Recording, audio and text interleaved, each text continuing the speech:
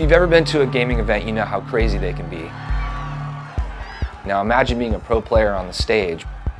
We took the actual needs of the pro gamers when they're playing on stage and put them into the pro keyboard. Having confidence in the keyboard is pretty big for CS players. In a game like League of Legends, every second matters. That one skill shot that you shoot faster than your opponent could be like the one that gets you the kill or not.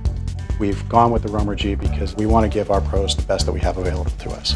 The Romer-G keys are the fastest keys like made right now. Any tiny thing can make a difference. It can just be the keyboard reacting slightly faster, maybe having slightly lower like latency. We also added things like our faster keystroke processing. We spent a significant amount of time in redesigning our KSP algorithm, and as a result, we can get up to 10 milliseconds faster than the competition today in terms of response time. If you shorten the keyboard and remove the 10 key, you can get a lot more comfortable of a situation for the pros to be playing with.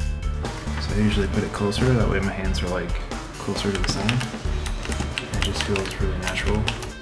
We also did things like the detachable cable, which makes it easier to set up and tear down and also makes it much more durable for traveling.